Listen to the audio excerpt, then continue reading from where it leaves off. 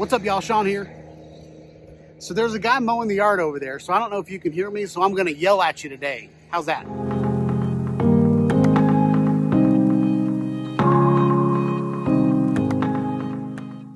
Um, today we've got the Inspire, and I've got this hopefully incredibly strong 3D printed um, GoPro mount that I have devised after Frankensteining a whole bunch of different um, different Thingiverse files. I mean, there's probably six different creators in here.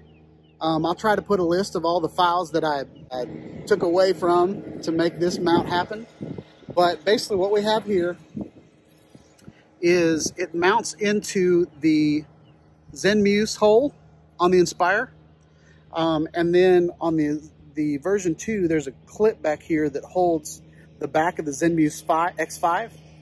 Um, so I've got that connection point and this connection point, and then I've got six Phantom 3 dampers with the oh crap um, safety harnesses in them.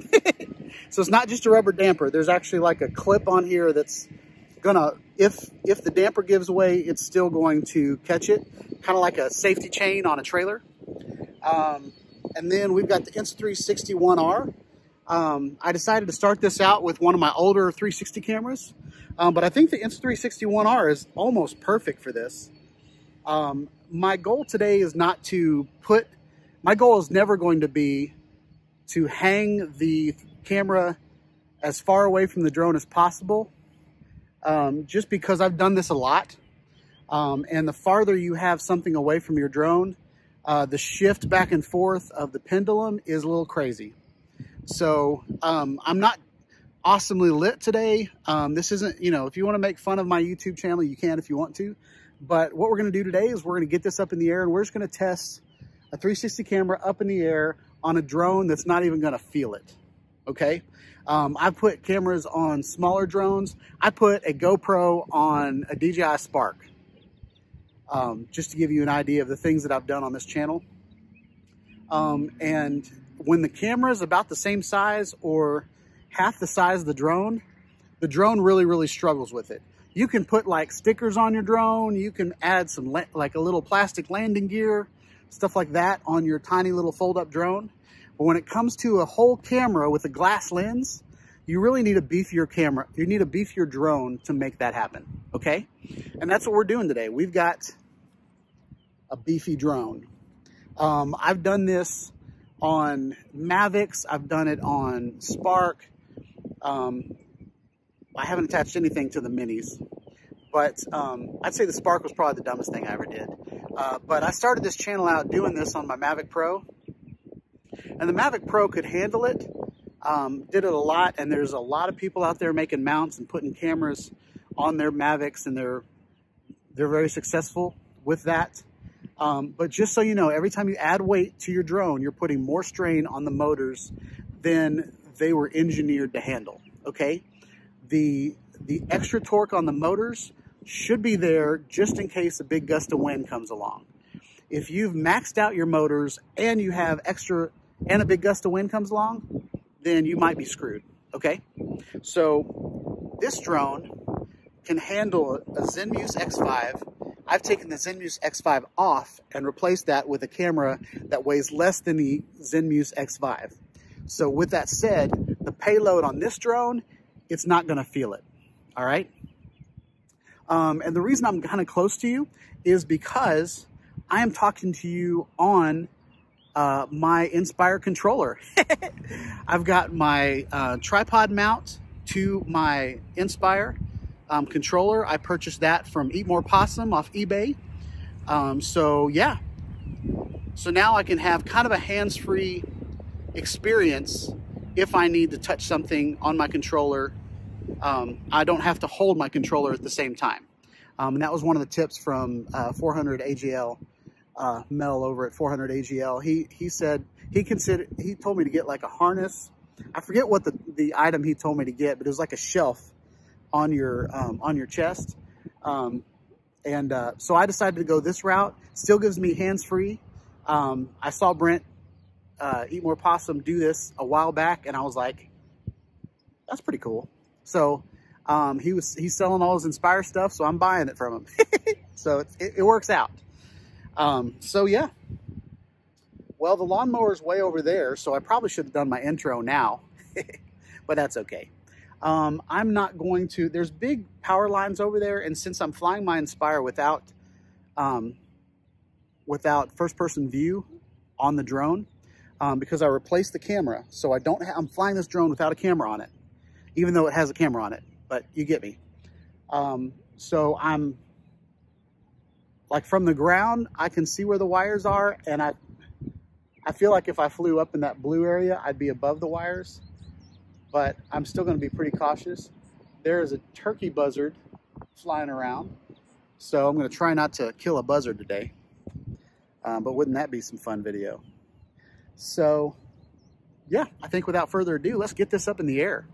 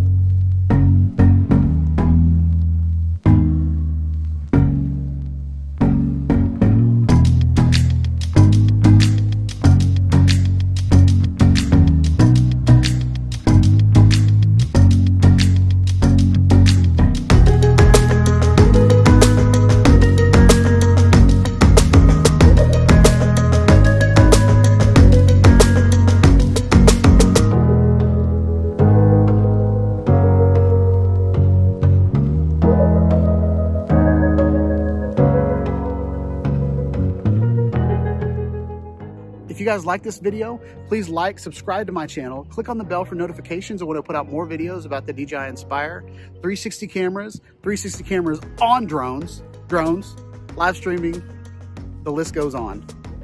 Hope y'all have a wonderful day. Peace out.